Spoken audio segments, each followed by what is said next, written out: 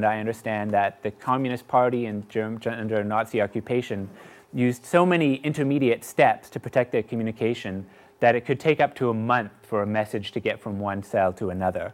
Um, and so that's why this system works, because it really cuts down on those kinds of delays when anything is time sensitive. And even though I used a number of examples of paramilitaries, this system is not used strictly for kind of armed, you know, uh, command and control networks. The civilian part, or the kind of the non-armed part of the African National Congress, used a similar structure as well. And the reason for that was that they had people organized on kind of a neighborhood basis. So this cell might be, you know, all of the people who lived on a certain street in Johannesburg. And they would send up, you know, information about what was going on in their activities to the kind of central organizing group. And then that, and they would say, you know, also what they wanted to do because it was more participatory. And then that group would send back down information about what was happening with the struggle or educational materials or all of these different things. And of course, there are above ground hierarchies as well. Many NGOs, uh, especially larger NGOs, work on this in this fashion.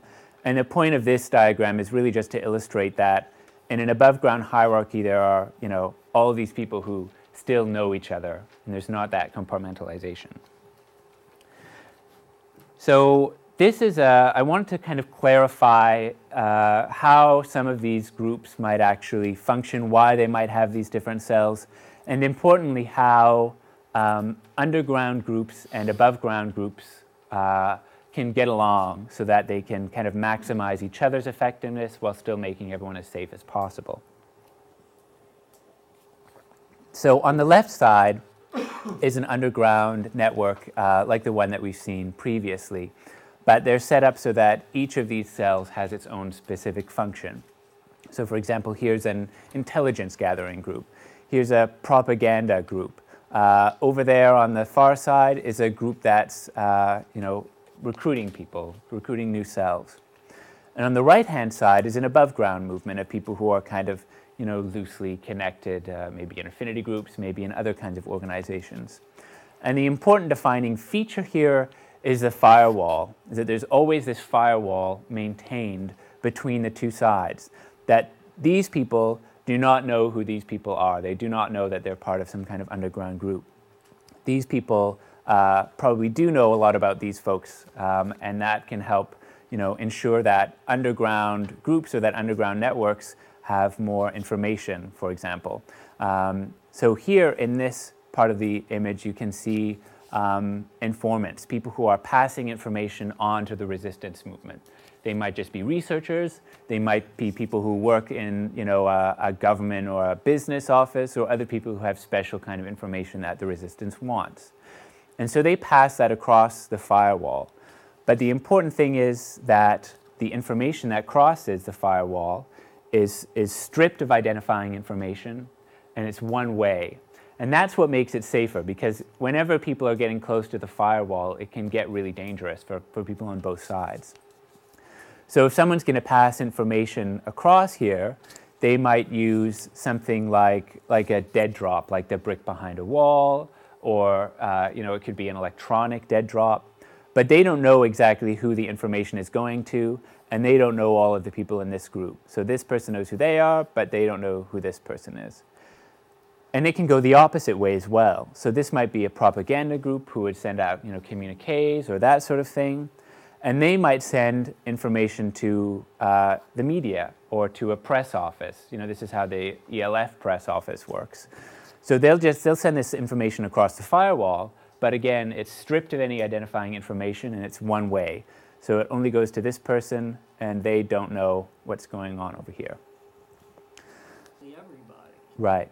So the issue is that in this case, if you take out kind of these top three connecting people, then it could destroy the entire network. And that's a real issue. And that's why underground movements that are effective and that want to be robust think a lot about weighing different kinds of risk against each other. So they think about, you know, more communication links means potentially more risk um, in terms of people being exposed. But fewer communication links means more risk in that it's easier for the network to be disrupted or kind of cut into pieces if there are arrests or captures. And so there's usually kind of backup methods. So, you know, these people might be able to connect to someone in this other cell in an emergency or through a specific method, you know, if they're caught. Um, but they might not use that communication under normal circumstances because that would, of course, expose it. What's going on on the far side there is that there are some people who are not actually in the cell, but who are maybe uh, going to be recruited. They're candidates. And so someone from this group, this person here, has approached them probably because obviously these people don't know, know them to approach. They've approached these potential recruits and um, started some kind of you know, screening and recruitment process. And usually underground organizations have pretty well developed systems for recruiting people and for screening people. That's especially if they've been around for a while. Because if they don't develop good screening, they're not around for a while. Um, and so these people, even though they're on the list, they're still outside of that, that kind of bubble um, from this particular cell's bubble. So they might know this person, but they don't know anyone else. And they're not going to be in that cell until they've kind of proved themselves or they've been appropriately screened. And maybe they'll never even be in this cell. Maybe this person will split off and join and, and form a new cell out of these potential recruits. Um, and then, you know, he or she will be the link to, to this other cell, and that, you know, that, that might be how it works. Yes. So the question is, do we have resources about screening uh, and recruitment? And the answer is yes. There's a discussion in Deep Green Resistance, the book. Um, there's actually a chapter on recruitment. Um, and there's a section that talks about different screening methods that historical resistance movements um, have used quite specifically. So hopefully that will answer uh, most of the questions about that. Yes. So the question is with DGR in specific, but it applies to all movements in general. If you're thinking about underground action or if someone is considering forming an underground group, should they avoid being part of an above ground group? And the answer is yes, exactly so. Um, you know, in the, in the French resistance, at first they didn't have any kind of distinction between above ground and underground uh, as clearly as, as we do here. And so a lot of people ended up getting captured or arrested because they were, you know, part of a sabotage group, but they were also, you know, carrying around underground newspapers and this sort of thing. And so what happened was uh, they kind of began to coalesce into two different kinds of organizations. There were, uh, under, there were groups called networks and called movements. And movements were resistance groups that tended to recruit more uh, more widely. They had much larger numbers of people involved. They had kind of looser connections. And they were really focused around general organization of, of political dissent, encouraging uh, you know, people to, to hate the Nazis. They published underground newspapers and that sort of thing.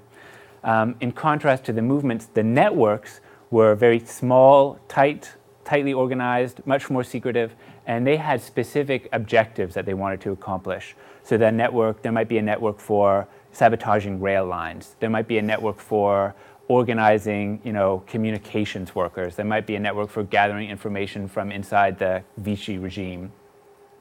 And one of the first rules they, they established was that you could either be a movement, a member of a movement or a network, but not both, because that would put, you know, both groups at risk. And I think that really parallels what we see here, that the movements are in, in some ways much more like the above ground movements. Um, and of course, that's different because they were still secretive. But you know, there are stories in the south of France about people walking into a newspaper office and successfully asking for the office of the resistance. So there are certainly you know, places where those, where those movements were similar to what we would call above ground.